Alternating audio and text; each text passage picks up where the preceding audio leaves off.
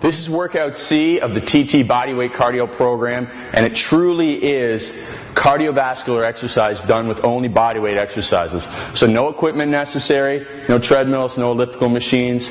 It's not like going out for a jog. This is really an awesome workout. All you need is your own body weight. You have a lot of fun doing it, but also improve your strength and mobility. So it's light years better than regular cardio training. And the cool thing about this one is it's actually called the Crazy 8 Bodyweight 300 Cardio Circuit. Because there's eight exercises that you're going to go through that circuit three times, and between the number of repetitions and number of seconds held in the plank and in the wall squat, it's 300 total seconds and repetitions each time you go through the circuit. So we're going to start with 60 jumping jacks. Just classic jumping jacks. Nice, fast pace. Out into the balls of your heels and back in.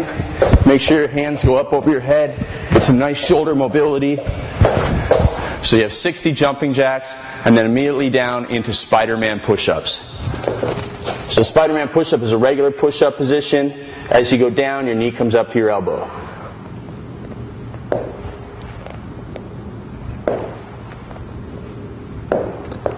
Alternating sides. And then when you get up, you're going to do walking lunges. So step out, down, and just walking forward. Nice straight line with each step. Getting a stretch in this area back here, the hip flexor region. After you've done your walking lunges, then you go down to Spider-Man climbs. We did this one in the warm-up. You start in that push-up position again and take your hand or your foot up beside your hand. Or whatever you're comfortable with given your flexibility. So if you're inflexible, just go up to here, but work your way up.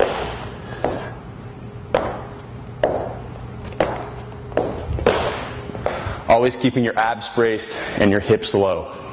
After the Spider Man climb, back against the wall. So you will need a wall for this one, or you can do this one just holding a low squat position. But we're doing what's called a squat hold. So you're going to go down to the low position of a squat, push your back against the wall, and hold that for 45 seconds. Keep your hands by your side. Your quads are doing a lot of work, but don't rest your hands there. After 45 seconds, you get to come up and then go down and do a plank hold for 60 seconds. So breathing normally, abs braced. A lot of mental toughness and endurance going on in this circuit. Especially by this point, you're going to be kind of fatigued, so it's really tough to hold that. Then you're going to do five burpees. So get up, then go down, push out, push up, in, jump, down, out, push up, jump five repetitions, and then you're going to finish off with an exercise we've never used before, just running high knees in place. You do 25 repetitions for each side. So 25 for each side, count that in your head.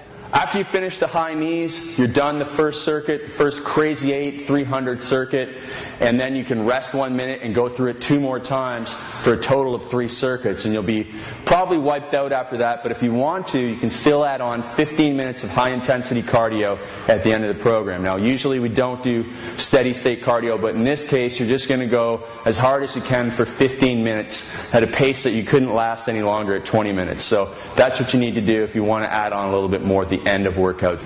So that's it for the TT Bodyweight Cardio program. I know you're going to love that one. Let us know what you think.